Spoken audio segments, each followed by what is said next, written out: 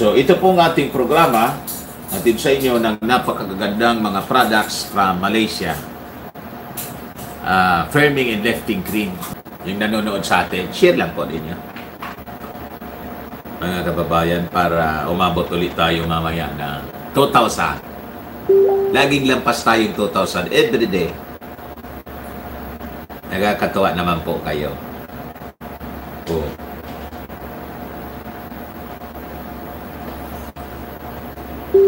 Kumati uli yung ilong ko.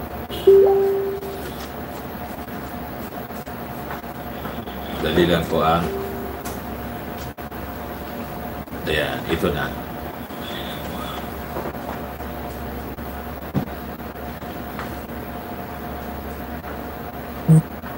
Yan. Ace! Si Ace, ah, kagad nakita ko eh. Sir Dan, good news. Unconstitutional sa korte yung same-sex. Sir Dan, bawal sa Bible ang same-sex. Sir Dan. Ay, nawala. Dineclare na ang constitutional yung dati naman yan. Ang constitutional talaga yan. Di man pwede yun. Ah. Yan po ang karumal-dumal, mga kababayan, sa mata ng ating Panginoon. Oy, ah, brother, Eric Bryan Oy, good morning po sa Dan and family, pati sa lahat ng mga viewers and listeners. Mardi Berganyo, sabi po sa news, Sir Dan, mamaya, pulang buwan na, ano po ba sa palagay nyo? Totoo po ba may malaki daw pong dilubyong darating? Ang dilubyong darating, eh, pag billions, sinabing billions, the great flood, wala na po na wala nang global flood that will ano that will happen in this world. Na natapos na yung Noah's flood pero yung dilubyo kasi iba-iba yung ano iba-iba yung uh, understanding ng tao. Pag dilubyo hindi man kailangan yung flooding yung nasa isip natin kundi yan na niya yung katapusan ng mundo o may uh, disaster na malaking darating. Iyon na yung pakaulugan na, natin ngayon. Oy, Eleno Arce. Maraming salamat po sa panonood. Oh, mayroon mayroon pa. Ang dami. Oy, si Jessie sa group ng Bullseye nanonood sa atin ngayon. Maraming salamat. The tribulation is coming and there- there's no ano wala na yung postpone. Wala na yon. Hindi na po mapopostpone yon. The tribulation is, we're heading uh, fast towards tribulation. Ngayon, itong mga, nung panahon, may wala man ganito, na nga, blood moon, hindi man.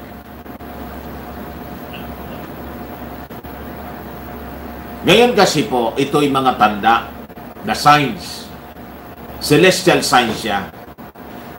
O ngayon, tingnan na lang po ninyo yung uh, sinasabing blood moon. Mamaya yata, mga 4 4.30 yata, magsisimula na yon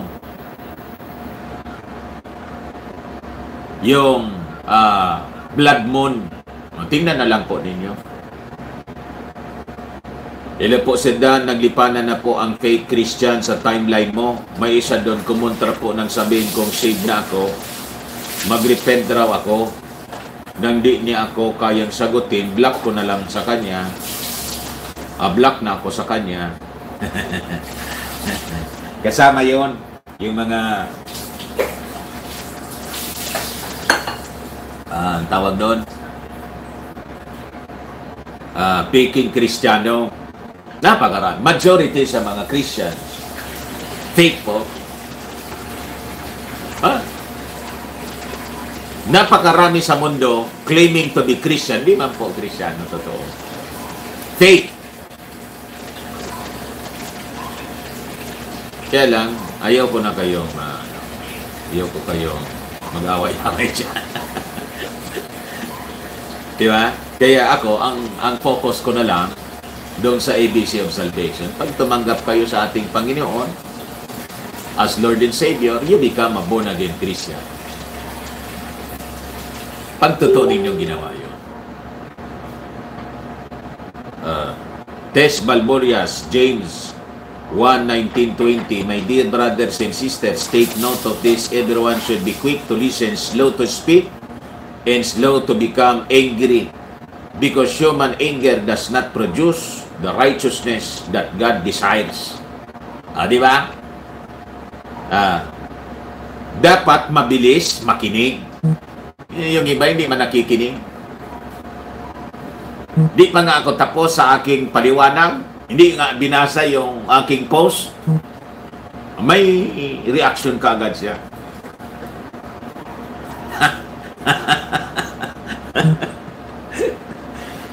Automatic yung reaction niya. Yan tuloy. Mali yung kanyang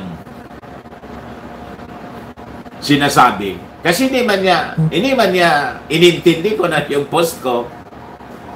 Basta kung ano yung nasa isip niya, yun na yun. Attack! Ah, automatic yung attack. Ronel Cortez, Sir Dan, natarap na kaming mga OFW sa mandatory bid ko, biktima ng overtime ng diabolic. God bless po in more power sa family mo, family mo at viewers ng Bullseye. Saan bansa po kayo?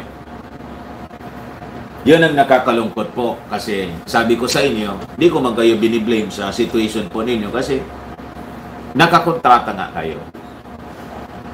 Alangan man, ora uwi kayo. Paano yung pinirma ninyo dyan? Last year pa ako nag-warning sa inyo na manalangin ang taimtim. Pero tingnan ninyo, ah, baka maari pa rin. Pwede pa kayong umuwi kahit hindi kayo nag dumaan doon sa pag nga sinasabi nilang requirements, bagong requirements. Pag hindi na talaga, di, manalangin kayo sa ating Panginoon na proteksyonan kayo. Yun na lang ang pwede natin gawin dyan. Kasi yung karayong laging nakaabang, tutusukin kayo. Cynthia Franco, ma'am, good afternoon po. Uh, si Chuna, Roland Salvador, ganyan ang sinabi nun sa akin. Sabi ko, pag tunay na Christian, may buong tiwala sa Diyos, hindi yung ipagdadasal pa na maging safe ang bakulam. Si Lord ang ay sapat na. Ah, Ro, Rod Ligan said that I think in future times the Philippines can produce variants dahil sa rolling out na sila. Mayroon na po rito. Galit nga si Gwen, bakit anya Bisaya yung pinangalan ninyo? Di ba Philippine? Philippines? Bakit hindi gawing Philippine variant? Galit si Gwen. UK variant, Indian variant. Bakit naging Bisayaan niya? Gaudensia Balayros, di na bang anya kami parte, yung Bisaya, di na kami parte ng Pilipinas? Uh, ayaw pala ninyo ng biros? Ayaw ninyong tigilan? Ayaw ninyong ipangalan sa inyo? Kasi masisira yung lugar ninyo. Pero ayaw ninyong tigilan. George Salayon, 10 uh, US dollars. Maraming salamat. May super chat na. 939 yung nanonood sa atin. Ay, Sir Irineo, nakita ko na po yung super chat. Fanny, Madlang Sakay, Sir Dan, malaking tulong sa bawat isa sa amin yung group chat, palitan ng mga mga luto ano, pa, ah, luto, kuro-kuro. At dito nalalaman namin yung nangyayari sa mundo. May naliligtas sa ABC of Salvation na itinuturo mo. Maraming salamat sa inyo. ah, Ace Calyura, pampakalma. Mamaya, ta, high blood ulit tayo po para para dumami. Roland Salvador, totoo naman kapatid na Chona Nasaya, makikita mo talaga sa bunga kung ano ang puno. Berhil Tat Serdan, I think randomized killing ginagawa nila ng Cavaliers sa naturukan ng bakulang ng dahil meron na silang microchips. Iba-ibang brands, iba-ibang timpla, iba-iba ang karga, pero the same objective ang gusto nilang ma- ma-achieve. Ganun po siya. The reason why uh, dinesign siya, eh, di ba naipaliwanag ko na sa inyo? Kaya yung mga nanonood sa atin, sinasabi nila, Boy, panamanan niya ako. Oo nga po, ipagpasalamat ninyo, boy, kayo. Kasi po, ang design niya ganon. Para hindi po kayo masyadong makalata. Kasi pag sabay-sabay nila gagawin, hindi randomize, hindi nila ma-achieve yung gusto nilang mangyari.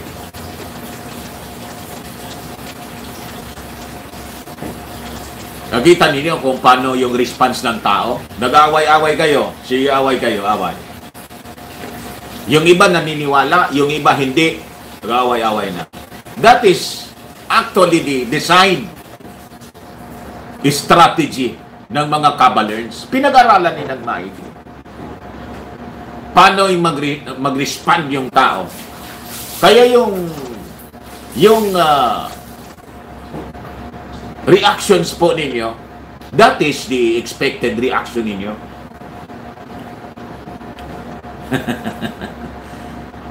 Sabi ko po, this bakulam is just like a Russian roulette. Tek! Tek! Tek! Wala pa. Tuwang-tuwa ka. Pang!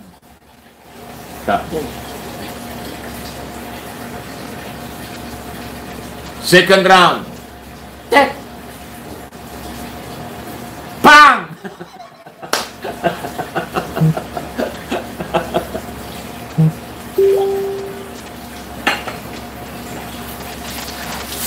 susunod po, hindi na ganon.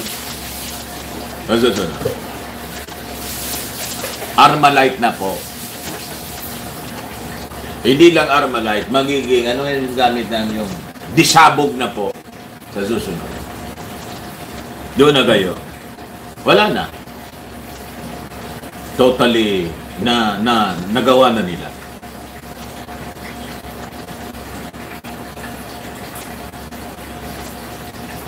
Ngayon, hindi ko kayo pinapaniwala sa aking kwento. Hindi ko kayo pinapaniwala. Kinikwento ko lang. Bala kayo kung ano yung isipin ninyo. At hindi ako, ah, hindi ko kayo pipigilin. Gawin ninyo yung nasa isip ninyo. Anong gusto ninyo gawin ninyo? Larry Madera, galit po ba ang Diyos sa lasing, umiinom all All good morning po, watching from Paracali Camp. Napunta tayo sa lasing. Sino to? Ah, si Eric. Napicturan mo, hinigop ko yung tip. Yun pa yung napili mong posisyon. na, nadali mo.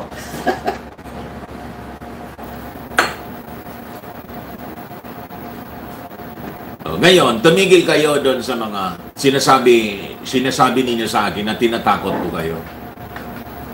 Naisip lang ninyo yan. Kayo nagsasabing tinatakot ko kayo kung nananakot. Bakit nananakot? Di ba? At bakit kayo takot na takot? Kami nga alam namin yung kwento. Hindi kami natatakot. Kayo pang hindi man ninyo alam ang kwento. Takot na takot kayo. Huwag kayong matakot. Tuloy ninyo kung ano nasa isip ninyo. Ang Ilusolano, Sindan, ready daw po, hindi lang basta blood moon. Palito sabi ng scientist, may kasamang solar flare. where all internet electricity and elec- electronic gadgets will be dead. Yung solar eruption, ah, tingnan na lang natin. There will be signs in the sun and in the moon, in the stars, and upon the earth, perplexity among nations. Kaya, hindi man ako nag men fainting from fear upon the expectations of the things that are coming unto the world. The sea uh, roaring. Ganon. For the powers of heaven shall be shake, shaken.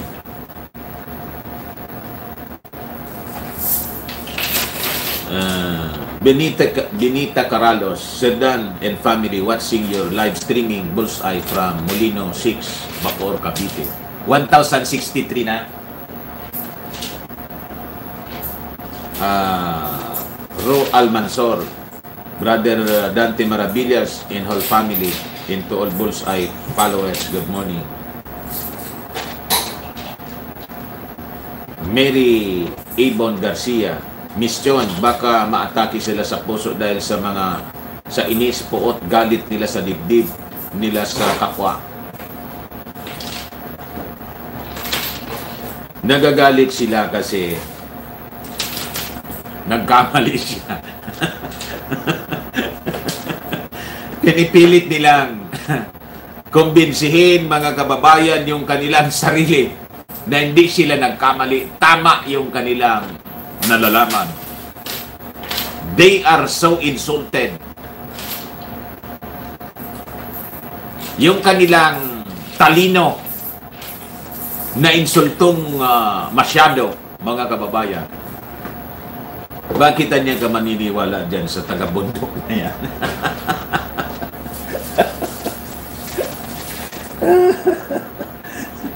eh, kung ano-ano yung pinagsasabi, bakit niya maniniwala? Hindi nila matanggap yung mga kwento natin. Yun ang nangyayari. ang ibig lang sabihin, yung alam ninyong kwento, false, lies. Ang amin, ang totoo. Yung amin ang totoo. Yung inyo, false. Haka-haka. Kayo yung haka-haka. Binabaliktad ninyo akong haka-haka. Paano maging haka-haka yan, no? O yan ang kwento. Pati mainstream media, o yun, no? Di lang alam ng mainstream media kung ano yung pupuntahan nito. Di nila alam. Reference ko, mainstream, Inquirer, ah, tawag dito, BBC, CNN, ABS-CBN, all the mainstream media, plus of course yung mga restricted na mga sources natin. Ah, paano ninyo pasasabalian yun? You can check the ano, the sources kung credible siya. Ah. Yung mga nireport kong unang namatay, yung, yung pari na namatay, i-check ninyo kung buhay pa. Yung si John Mercado, o fake news ako, i-check ninyo kung baka bumangon uli yung pari.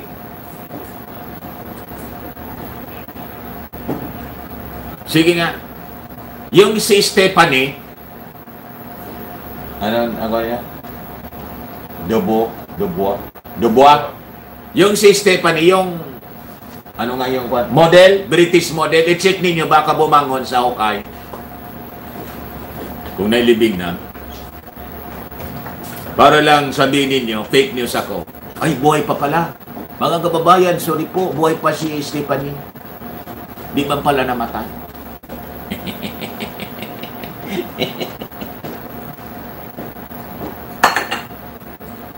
Sabi ko sa inyo, hindi kaya kasi ninyo kayang baliktarin yung mga sinasabi ko. Hindi ninyo kaya.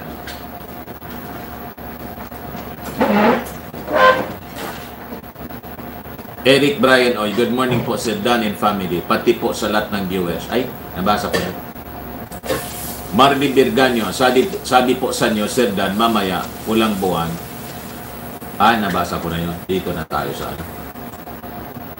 Nick Bonomio, lagyan nyo daw kasi ng link, Sir Dan, kasi tamad din mga buses nyo. Pero pagbuka ng bibig na manira at magmura, ang sipag nila. Ba't nila? Bakit ko isp- spoon feed kayo? Dilagay ko yon kwento, nabasa ko. Bala kayo kung maniwala kayo, hindi. Kung duda kayo, the burden of proof nasa inyo. Di ba ganun? Gusto ko ano, pat- ikaw yung duda, di ikaw magpatunay. That is illegal, ano, parlance. In legal proceedings, the burden of proof doon sa nag-akusa. Kayo yung nag-akusa, kayo ang mag-prove. Kayo nag-akusa sa akin na fake news ako. Di prove ninyong fake news ako. Humanap kayo ng source na nagsasabing mali yung sinasabi ko. Tama. Kahit sa legal proceedings, ganon. Ang burden of proof nasa nag-akusa. Ikaw ang nag-akusa, ikaw ang maghanap ng ebidensya against me na mali ang aking sinasabi. Wala man kayong nakuha. Pag-check ninyo, ay, oo nga, tama nga. Nainsulto kayo kasi. Sabi ko sa inyo, noon pa, hindi man ako nakikipag-compete sa inyo. Matalino kayo, a- ako hindi. Matalino kayo. Ano pa ang ano pa ang problema niyo sa akin na matalino kayo? Surrender. Surrender ako sa inyo. Ano pa? Ah, kayo matalino ako, hindi man. Normal lang. Ordinary. Ah, person lang po ako. Leo Felizardo, Sir Dan, former VP po ng Python, sabi niya, don't take the bakulam, it's not safe. Eh, matagal na yon. Matagal na yon na ah, nagsalita. William Liagono, gandang umaga po Manoydan at sa lahat ng mga kaisa natin dito sa Bullseye. God bless po sa lahat. Gal- galing, galing pa po ako na mag-LTO. Kaya na late. Ha? Galing ka sa LTO. Ah, Rod Ligan, James, my friend, yan ang kalabasan sa mga nabakulaw. Yan ang tawag nila cyborg. Oo. Iyan ang post ko ngayon na bago. Gusto niyo malaman yung detalye? Ah, maya-maya basahin ko. Unahin ko yun.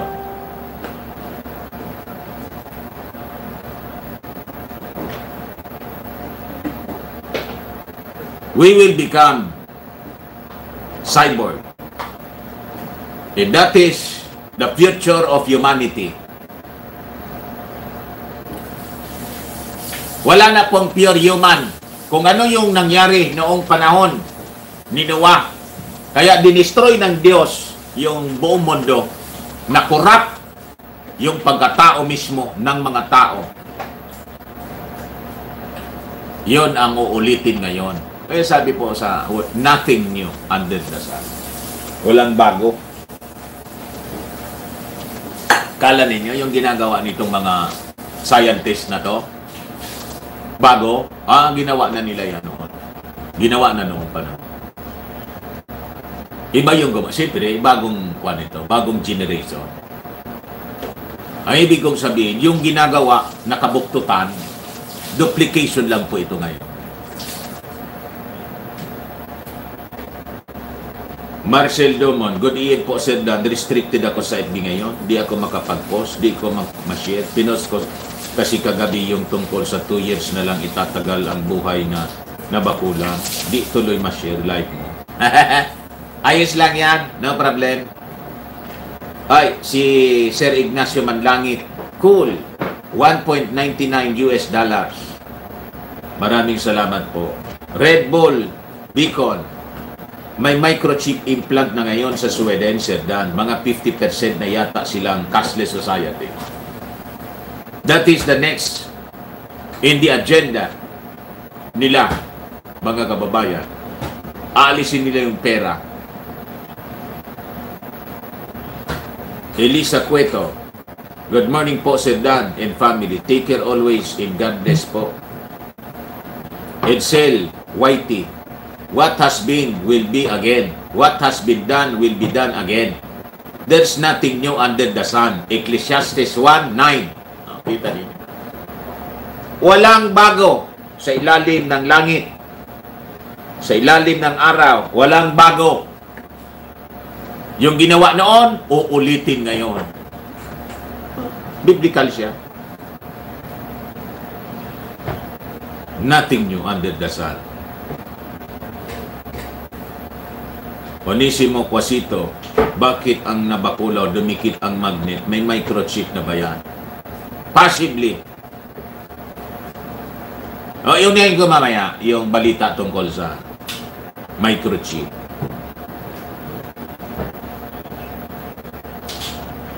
Lorito Trabajales, ayan na po ang mga ungas na yan, Idol Dante. Sayang lang ng oras natin dyan. Script nila yan.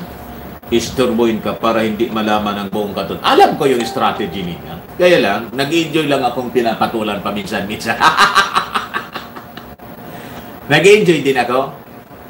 Yung sinusupla mo yung tao, gawain ko din kasi yung basagin yung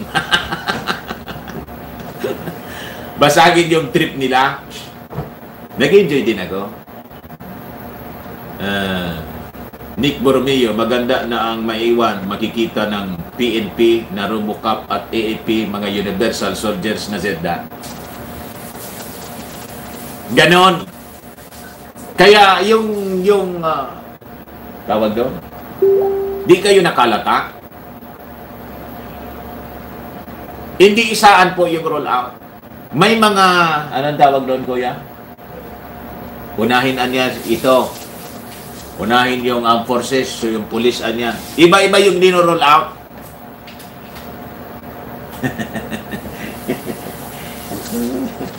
Sunod niya yung mga frontliners na mga ano, health workers.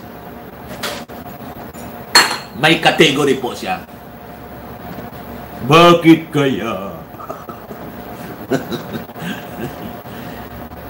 ha? Yung mga mayors. Gaya na yung mga, mga mayors, hindi pa niyan ninyo oras, hindi pa panahon. Nagalit yung DILG. Kasuhan na niya. Maya-maya, sige na niya, pwede na.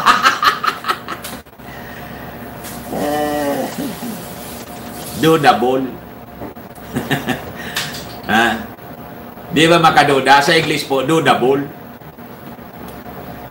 Philip Doliete, Sedan, nakatsang ba ulit sa live mo? Good morning. Sedan, ang Muslim kong kasama sa work, alam rin niya about rap, raptor, rapture. Nashiran mo. Edgar Morales, good morning pro, po, brother Dan. You're an ordinary person but your thoughts are what we need now. Go, go, go, brother Dan. Inalign ko yung thoughts ko sa salita ng ating Panginoon. Sa mga believers, dapat align. Pag hindi align, ha, ibig sabihin, no, fake ka. Pag believer ka, na born again ka, dapat naka-align sa Word of God yung mindset mo, yung, yung thoughts mo. The same frequency. Ika nga. Pag iba yung frequency mo, wala. Ibig sabihin, direction mo iba. Parang radyo. Hindi tugma. History repeats itself, sabi ni Eric Bryan. Oy, tama.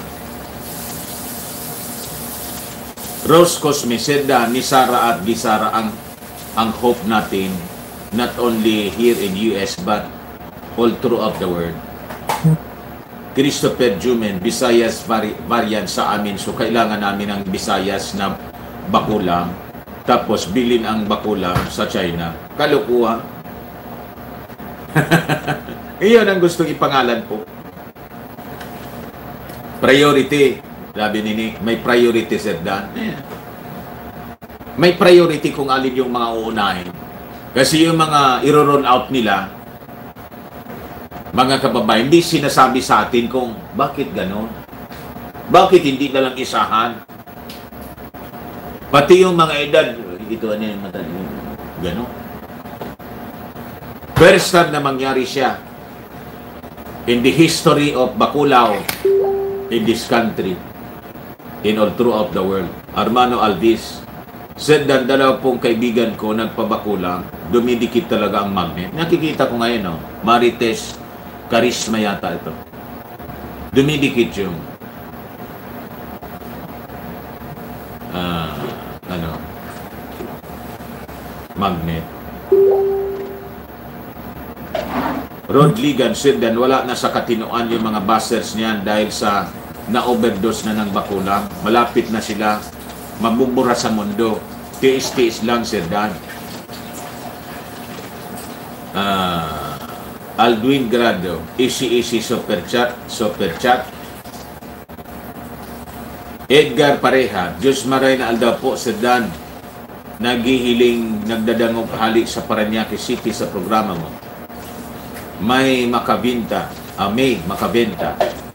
Armando Alves, totoo dumidikit ang magnet sa injection site. Sa akin ganon.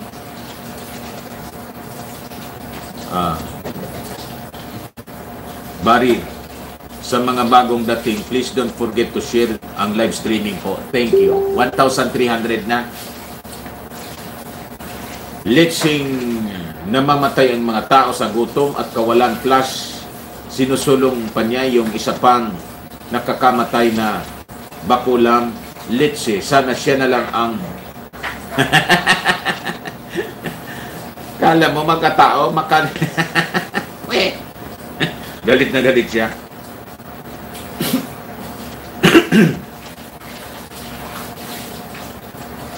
ah. Pilar Plaza. Good morning po, Sir Dan, watching from Santulan, Pasig.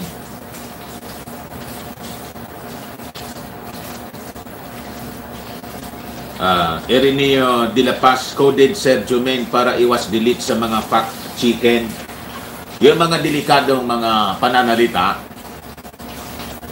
ibayin na lang ninyo yung tawag.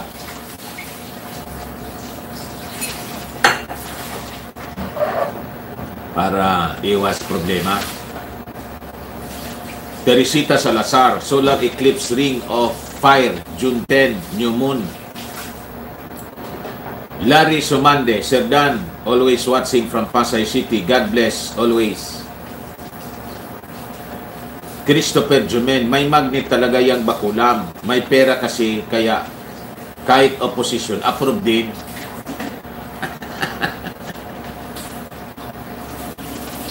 May pera, kaya may magnet, namamagnet, pati yung mga nasa opposition. Giselle Adlaon, Magandang umaga. Angeline Lising, mga nagmamadali sa bakulang. Sige na, pumila na. Uh, Russia, Nias, mamatay sila sa stress. Uh, Abing Pabro, Bunso, gandang umaga sa iyo. Rinaldo Octavio, Sir Dan, God bless po.